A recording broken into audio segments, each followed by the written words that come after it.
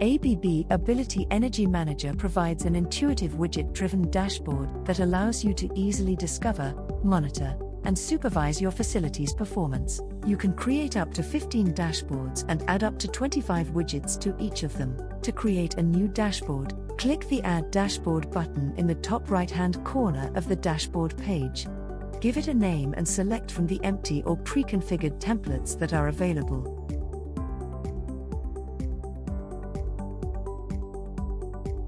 To further customize the dashboard, simply click the plus icon in the bottom right corner and drag and drop widgets into place.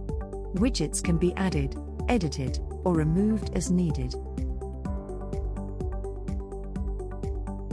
Dashboards are visible only to the users who create them, while custom templates can be saved and shared across your plants. To create a custom template, click on the three dots next to Add Dashboard. By clicking on the Create in button, you can select another site where you want to create the same custom template.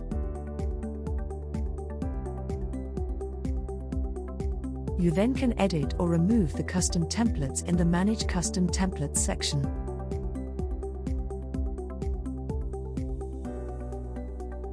Finally, ABB Ability Energy Manager makes it easy to export and share your dashboard as a PDF.